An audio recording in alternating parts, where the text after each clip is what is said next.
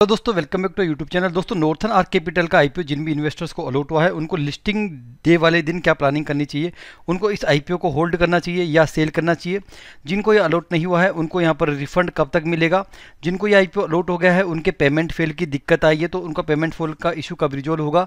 उनके demat account में shares credit होंगे या नहीं होंगे, सारी इन्फॉर्मेशन आपको इस एक वीडियो में मिलने वाली है। दोस्तों चैनल को सब्सक्राइब कर दो और वीडियो को आप लाइक कर दे। तो सबसे पहले बात कर लेता हूँ, जिनको आईपीओ नहीं मिला है तो मैंने यहाँ पर कल अलॉटमेंट चेक करा था लाइव बहुत सारे लोगों का तो काफ़ी लोगों को अलॉटमेंट मिला क्योंकि इशू साइज़ काफ़ी बड़ी थी इसकी, लेकिन बहुत सारे लोगों को अलॉटमेंट नहीं भी मिला है। तो जिनको अलॉटमेंट नहीं मिला है, उनको यहाँ पर रिफंड जो है तेईस तारीख को मंडे को, रात को आठ बजे से पहले पहले उनके बैंक अकाउंट के अंदर फिर से अनब्लॉक कर दिया जाएगा। उनका पैसा उनको यहाँ पर रिफंड कर दिया जाएगा आठ बजे से पहले पहले तेईस तारीख को। वैसे कई लोगों को ऑलरेडी यहाँ पर रिफंड आ चुका है, लेकिन अगर आपका नहीं आया है तो आप वेट कर लो। तेईस तारीख की डेट है यहाँ पर। अगर तेईस तारीख को भी नहीं आता है तो एक से दो दिन आप एक्स्ट्रा वेट कर लेना। क्लियर हो गया? अब बात कर लेते हैं लिस्टिंग की। तो इसकी जो लिस्टिंग की डेट है दोस्तों, वो है चौबीस सेप्टेम्बर की।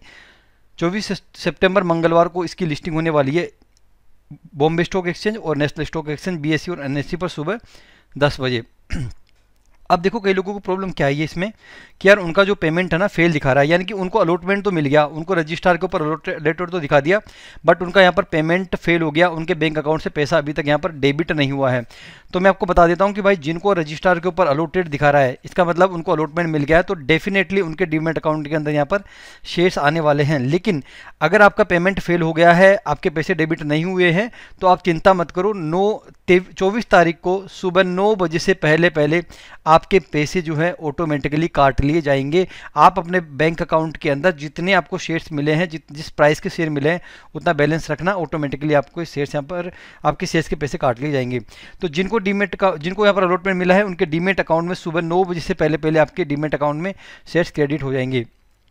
प्री ओपन मार्केट का टाइमिंग नए रूल्स के अकॉर्डिंग रहेगा, जो कि आपको पता होगा नाइन टू नाइन से थर्टी फाइव के बीच में प्री ओपन मार्केट के टाइम यहाँ पर रहने वाले हैं।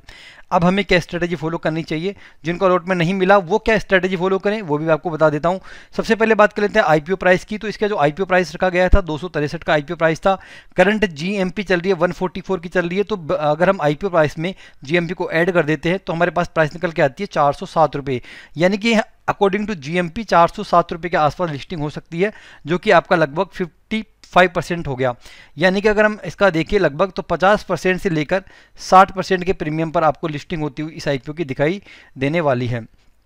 तो लगभग अगर आपने पंद्रह हज़ार रुपये इन्वेस्ट किए हैं तो आपके लगभग सात, साढ़े सात हज़ार रुपये से आठ हज़ार रुपये के प्रॉफिट आपको यहाँ पर बनता हुआ सीधा सीधा दिखाई दे रहा है। अब देखिए दोस्तों, यहाँ पर हमें इस आईपीओ को होल्ड करना चाहिए सेल करना चाहिए। तो जिन्होंने भाई इसमें आईपीओ में लिस्टिंग गेन के हिसाब से पैसा लगाया ना लिस्टिंग गेन के हिसाब से पैसा तो अगर उनको यहाँ पर 50 परसेंट से 60 परसेंट तक का अगर फ़ायदा हो रहा है तो मेरे हिसाब से उनको यहाँ पर प्रॉफिट बुकिंग कर लेने में फ़ायदा है, कोई दिक्कत नहीं है। लो, अगर आपको लिस्टिंग वाले दिन ही अच्छा खासा 50-60 परसेंट का प्रॉफिट मिल रहा है तो प्रॉफिट बुकिंग कर लो, लेकिन एक बार में पूरी क्वांटिटी ना करके थोड़ी थोड़ी करके क्वांटिटी आप निकाल सकते हैं, जिन्होंने लिस्टिंग के हिसाब से पैसा लगाया है वो। दूसरा बात कर लेते हैं medium term investor medium term investor जो यहाँ पर पैसा होल्ड कर सकते हैं, लगभग तीन महीने के लिए छः महीने के लिए, उनके लिए मैं बात करने वाला हूँ। अगर इसकी लिस्टिंग चार से ऊपर होती है चार सौ तक हो जाती है।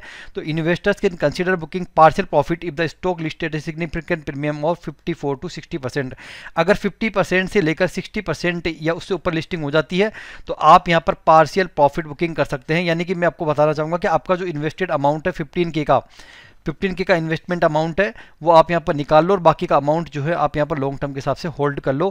क्योंकि the company has has strong long term growth prospectus company का जो ग्रोथ है लॉन्ग टर्म के हिसाब से so holding a part of the investment for future gain is advisable तो आप यहाँ पर होल्ड कर सकते हैं।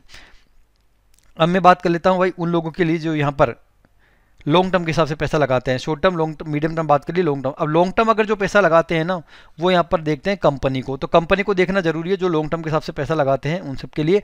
और जिनको अलॉटमेंट नहीं मिला है, उनके लिए भी मैं आगे बात करने वाला हूँ। तो जिनको अलॉटमेंट नहीं मिला, वो भी आप ध्यान से समझ लेना कि कंपनी अच्छी खासी कंपनी है। कंपनी का जो बिज़नेस है, काफ़ी अच्छा है। The company first of its kind player in diversified financial services company का जो बिज़नेस है ना, वो डाइवर्सिफाइड है। यानी कि कंपनी जो है लोन प्रोवाइड करती है हर तरीके कस्टमर्स को, जिसमें आपका हो गया माइक्रो स्मॉल मीडियम एंटरप्राइजेज हो गया एमएसएमई एंटरप्राइजेज हो गया माइक्रो फाइनेंस एमएफआई हो गया कंज्यूमर फाइनेंस हो गया व्हीकल फाइनेंस हो गया अफोर्डेबल हाउसिंग फाइनेंस हो गया एग्रीकल्चर फाइनेंस हो गया। यानी कि कंपनी ने अपने बिज़नेस को यहाँ पर कंप्लीट सी कंप्लीटली डाइवर्सिफाई कर रखा है। तो इस तरह से कंपनी का जो बिज़नेस है यहाँ पर डाइवर्सिफाइड है। Strong consistent growth in both top and bottom lines created niche in the financial service platform earning अगर देखें 2024 की the issue appears reasonably price तो कंपनी का जो इशू है वो रीजनेबली प्राइस है। क्यों? क्योंकि अगर हम इसको कंपेयर करते हैं इसके कंपिटेटर से तो इसका जो पी ई निकल के आता है, वो निकल के आता है तेरह का पी ई जबकि इसका जो कंपिटेटर है फाइव स्टार बिज़नेस उसका पी है सोलह का।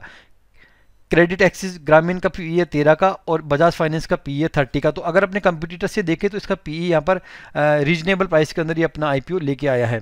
कंपनी का अगर फाइनेंशियल चेकआउट करते हैं तो यहाँ पर प्रॉफिट आफ्टर टैक्स देखते हैं कंपनी का बाईस, तेईस और चौबीस का। तो कंपनी यहाँ पर ग्रोविंग स्टेज के अंदर है। तो कंपनी में यहाँ पर फाइनेंशियली कोई कमी नज़र नहीं आ रही। कंपटीशन वाइज में यहाँ पर कोई कमी नज़र नहीं आ रही। यानी कि सही वैल्यूशन के ऊपर कंपनी आईपीओ लेके आई है। साथ में कंपनी का जो बिज़नेस है, वो भी डाइवर्सिफाइड है। यानी कि लॉन्ग टर्म यहाँ पर होल्ड करने वाली कंपनी है। तो अब मैं आपको बता देता हूँ भाई, जो यहाँ पर जिनको अलॉटमेंट मिला है, जिनको इस आईपीओ के अंदर अलॉटमेंट मिला है, अगर आप इसको लॉन्ग टर्म आप होल्ड करना चाहते हैं तो आप कम से कम आप इसको एक से लेकर तीन साल तक आप इसको होल्ड कर सकते हैं, तब जाके आपका अच्छा खासा पैसा बन सकता है। लेकिन लॉन्ग टर्म इन्वेस्टर के लिए भी मैं आपको बोलना चाहूँगा कि आप लगभग बीस या चालीस परसेंट के आसपास अपना प्रॉफिट बुकिंग कर ले और साठ परसेंट अमाउंट को आप लॉन्ग टर्म के हिसाब से आप इसमें होल्ड कर सकते हैं। अगर यहाँ पर लिस्टिंग जो है अकॉर्डिंग टू अवर एक्सपेक्टेशन नहीं होती है 400 420 पे नहीं होती है, कम के ऊपर लिस्टिंग हो जाती है तो लॉन्ग टर्म इन्वेस्टर जो है यहाँ पर कंपनी के अंदर पोटेंशियल देखते हुए ग्रोथ पोटेंशियल को देखते हुए, इसके यूनिक बिज़नेस मॉडल को देखते हुए, अपने फाइनेंशियल सेक्टर के अंदर लीडर को लीडरशिप को देखते हुए आप इसके अंदर लॉन्ग टर्म बने रह सकते हैं। यहाँ पर आपको जल्दीबाजी नहीं करनी है। चार सौ के अगर नीचे लिस्टिंग होती है तो आपको यहाँ पर पैनिक मैकेज जल्दीबाजी के अंदर सेलिंग नहीं करनी है। फिर आपको यहाँ पर लॉन्ग टर्म के हिसाब से आपको इसको होल्ड करना होगा। जिनको अलॉटमेंट नहीं मिला, वो इनको कैश स्ट्रेटेजी यहाँ पर फॉलो करनी चाहिए। तो जिनको अलॉटमेंट नहीं मिला है, अगर यहाँ पर इसकी लिस्टिंग जैसा कि मैंने आपको बताया कि चार सौ से कम लेवल के ऊपर हो जाती है।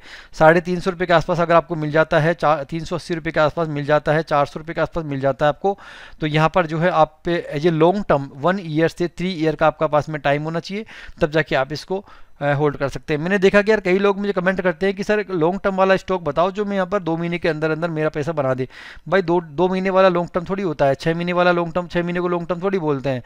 लॉन्ग टर्म होता है, कम से कम दो साल, तीन साल, चार साल आप होल्ड करते हो ना, उसको बोलते हैं लॉन्ग टर्म ठीक है तो अगर आपके पास में लॉन्ग टर्म अगर आपके पास में टाइम है तो आप इसको होल्ड कर सकते हैं। होल्ड करने वाली ये कंपनी है।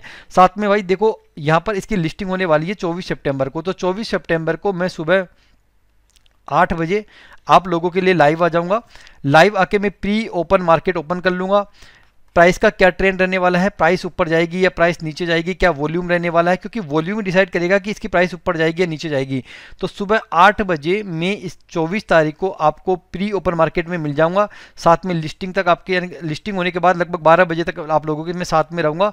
तो कोई भी प्रॉब्लम आती है लिस्टिंग पर आपको, अगर ग्रे मार्केट में कुछ वॉलेटिलिटी होती है, कोई भी इशू आता है आपको तो मैं लाइव आपके प्रॉब्लम का सोल्व करूँगा। तो आपको चैनल को सब्सक्राइब कर लेना है और बेलाइकन को प्रेस कर लो, ताकि चौबीस तारीख को सुबह में साढ़े, सुबह आठ बजे मैं लिस्ट, सुबह लाइव आऊँ तो आप मुझसे जुड़ जाना। कोई भी प्रॉब्लम रहे, आपको लाइव से रिलेटेड इसकी लिस्टिंग से रिलेटेड डेफिनेटली मैं आपकी वहाँ पर हेल्प करने के लिए रेडी हूँ।